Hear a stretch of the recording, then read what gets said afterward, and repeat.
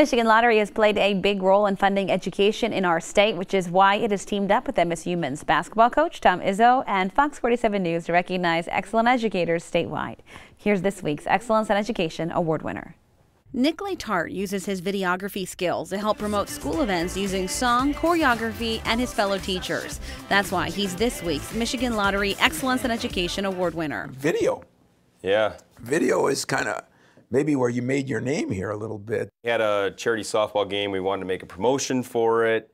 Uh, and just then, Call Me Maybe was really big, so we just decided to record us teachers singing along, and uh, it was a hit. Uh, the song was a hit, but I'm not sure the singers were, were they? Uh, no, not really. We just lip sync and uh, make, make fools of ourselves, but it's fun. Keep up the good work, and if we it will. ever gets to be a, a million dollar seller, give me a call.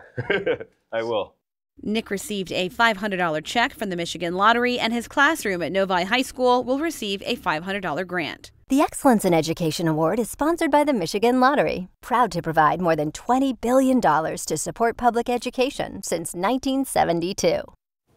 If you know of an excellent educator you'd like to see win this award, we want to hear about them. You can find the nomination form by clicking on Excellence in Education under the News tab on our website, fox47news.com.